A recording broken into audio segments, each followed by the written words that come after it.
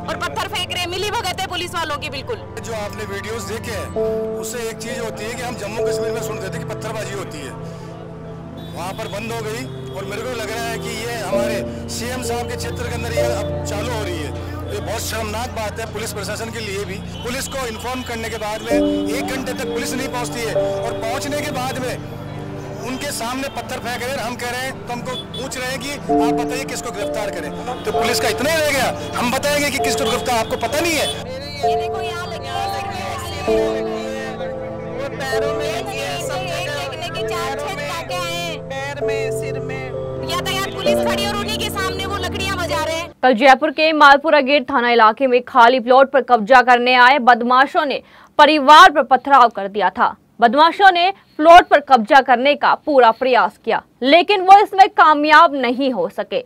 बदमाशों ने महिलाओं तक नहीं छोड़ा। उन पर इतनी पत्थरबाजी की, वह पूरी तरह से जख्मी हो गई। कई कई जगह उनको चोट आई है। लेकिन सबसे बड़ी हैरान कर देने वाली बात यह सामने आ रही है कि पुलिस वाले भी घटना के समय मौजूद थे। हालाँकि पुलिस ने साफ़ इनकार कर दिया है, लेकिन कोई वीडियो को कैसे झुटला सकता है? वीडियो में साफ़ नज़र आ रहा है कि पुलिस वहीं मौजूद थी और बदमाशों को हमला करते हुए देख रही थी। वहीं हमारा जनता दरबार आज फिर से इस घटना के सुध लेने पहुँचा तो एक और हैरान कर देने वाली बात सामने आई है। पीड़ित महिलाओं का कहना है कि 24 घंटे बीत जाने के बाद भी पुलिस ने अभी तक इस मामले में कोई बयान दर्ज नहीं किया है। वहीं विपक्ष की ओर से लगातार धमकियाँ दी जा रही है। लेकिन पुलिस वालों का कहना है कि इस मामले में अब तक 10 लोगों को हिरासत में लिया जा चुका है और उनसे पूछताछ जारी है। आइए दिखाते हैं क्या कुछ कहा पीड़ित परिवार और स्थानीय लोगों का।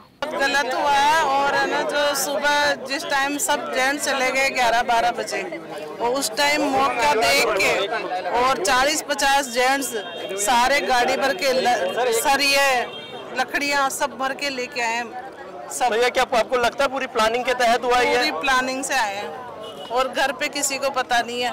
आते ही वो तो पत्थर ले लेके मारा कूटी करने लगे। तो घर पे कितने लोग थे करीब पंद्रह बीस महिलाएँ ही थी। केवल महिलाएँ ही थी। घर पे दो चार आदमी थे बस और बच्चे थे।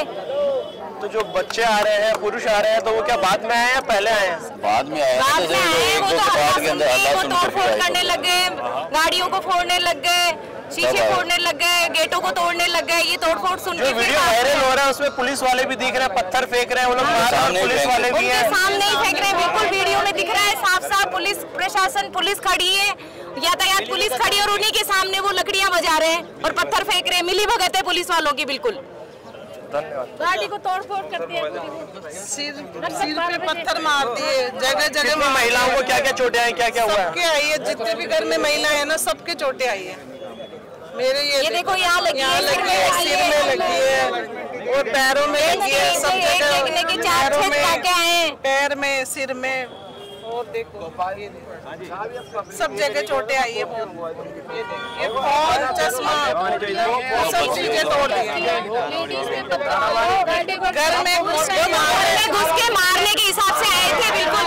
मर्डर करने के हिसाब से आए थे।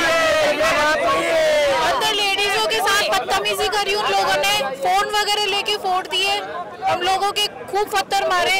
धक्के दिए हम लोगों के। अंदर तक हमारे पीछे भाग के गए। बच्चों तक को नहीं छोड़ा उन लोगों ने। ये पहले तो सुनियोजित प्रोग्राम था इनका पहले से।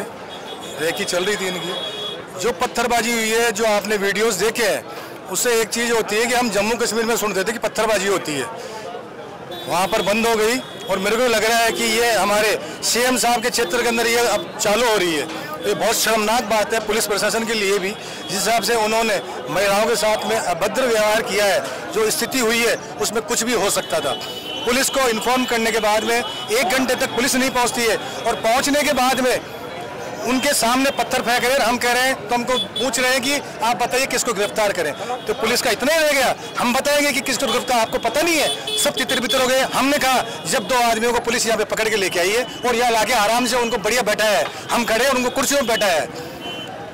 ये बहुत शर्मनाक बात है, ऐसी स्थिति नहीं होनी चाहिए। किसी भी सभा आज सर समाज यहाँ पे उपस्थित है, किसी के साथ भी हो सकता है, और ये चीज़ आगे नहीं बढ़नी चाहिए। नहीं, ये बहुत प्रशासन के लिए और पुलिस के लिए बहुत शर्मनाक बात है मैं ये कहना चाहती हूँ अभी मैं इन सब आदमियों को जो इन्होंने पकड़े हैं मैं उनको देखने के लिए अभी डिमांड रखी अपनी। तो क्या है ये लोग कहते हैं कि नौ है अंदर नौ नहीं है पाँच है अंदर सिर्फ़। और बाकी के कहाँ है चार? मैंने पूछा चार कहाँ है? तो कह रहे मैडम अभी डिस्क्लोज नहीं कर सकते। तो फिर हमें नौ की क्यों कहा गया? आप हमें जितने पकड़े हुए हैं उनका वही बताइए ना। हमें क्यों कहा गया कि हमने नौ पकड़े हैं? पड़े हैं वहाँ पे पाँच।